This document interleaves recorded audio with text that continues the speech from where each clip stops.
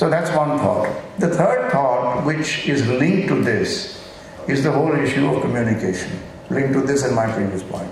How much are we being able to articulate all these benefits, all the positives of the paper and board industry? Is again, I think globally, it's not a matter of Indian paper industry. I think globally, the, the pulp and paper industry or the forestry industry has been, if I may say, has done a poor job at it compared to plastics and others. We have not communicated uh, the benefits of this as much. But I'm very happy that uh, in the last three, four years or two, three years in particular, on the IPMA platform, much, much more has been done than it was ever done in the past. The film that you saw in the beginning, I think, is, is proof. But, uh, you know, uh, partly that is uh, preaching to the converted. We need to get this film and similar stuff like this out to a lot of people outside whose first thing when they look at you is, oh, you cut trees. Wait a minute. We are not cutting trees and cutting forests, and therefore we are not bad people. We are actually doing good. So this communication part is, is again um, very vital, and I think the industry needs to step up. The fourth point I want to, to make, and I not, don't want to make this extremely long, I have one or two more points. One is the issue, again, Mr. Ent has talked about, but I think I want to re emphasize is the whole issue of human resource development. We are finding very few, I'm talking now in India, we are finding very few people wanting to go into pulp and paper technology. Uh, even Saharanpur had closed down that, their program, um, uh, and we have talked about it in, uh, in IPMA and other meetings and so on. But I think we have to understand why if people or young engineers are getting opportunities to be paid better somewhere else, and I don't necessarily mean only software. I don't mean IT alone, but there are other manufacturing industries. The cement industry pays more than paper.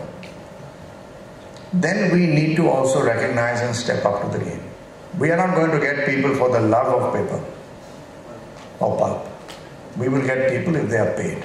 And we will have to step that up it, if it means how do I, how can I afford such people, then we have to look at our entire manning and reorganizing our, our manning systems.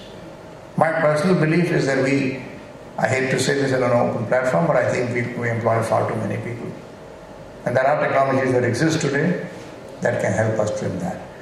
By reducing people in the factory doesn't mean we are reducing employment. If the factory can grow, if the mill can grow, there will be much larger indirect employment that is generated through transport, through suppliers, through vendors, through a whole ecosystem, through the forestry system itself, the plantation side. So I think we need to do that and we need to consciously take, uh, make an effort to say we will take people from engineering people, uh, from engineering institute, even it may not be pulp and paper necessarily, but good chemical engineers or good mechanical engineers or even now other engineers who we are willing to pay and be fast tracked. And I think if we have a mix of such people, then we will improve the attractiveness. So the human resource challenge, I think, is, is real.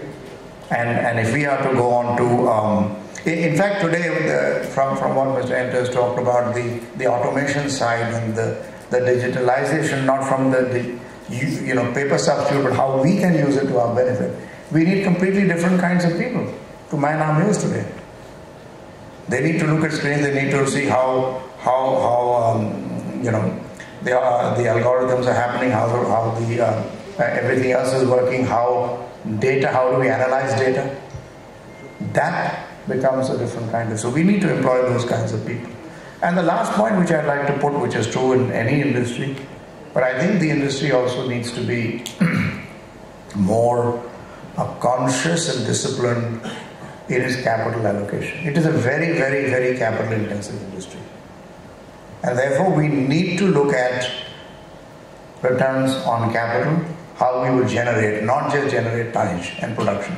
Because if we don't, we are not attracting capital or money from our financiers in the markets. To grow, you need money.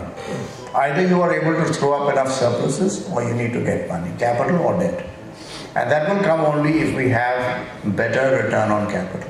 So we need to focus on that as an industry rather than just looking at tonnages or if I have if I'm producing 100,000, can I, how can I produce 200,000? and so on and so forth.